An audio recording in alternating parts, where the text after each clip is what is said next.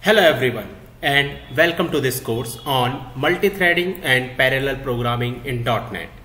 My name is Munesh and before proceeding with this course, I would like to tell you little about myself and then we will see the content which we are going to learn in this course.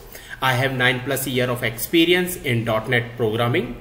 I worked in many MNC in the .NET technologies and I'm very passionate about learning new technology and I like to write articles on the .NET. And as per this course, what we are going to see is basically we are going to learn on the multi-threading. We'll see the asynchronous programming.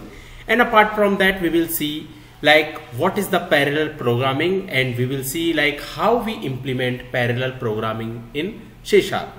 This course is covered from the basic to the advanced level. So like we will start from basic and we'll see how we write a program from the basic to the advanced level. So the topic which we are going to cover first is about the multi-threading. And then we will see like how the we create the threads in the C sharp and based on that we will write our programming. And then we will see the asynchronous programming in C sharp. We will see like how we create a task in the asynchronous programming. And after that we will cover the parallel programming. In the parallel programming we will see about the parallel for and for each in the C sharp. And apart from that we will see the parallel invoke in C sharp and as well as the parallel LINQ in C sharp.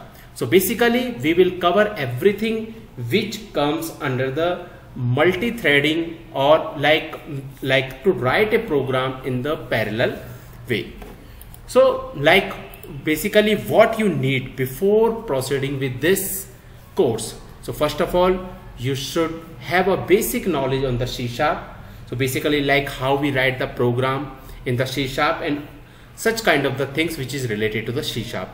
And then you should have to install the Visual Studio 2013 or the higher version. So we will understand it better. And you should have the willing to learn new things. Like if we are going to learn any new or the advanced level things then you should have that willingness to learn those things.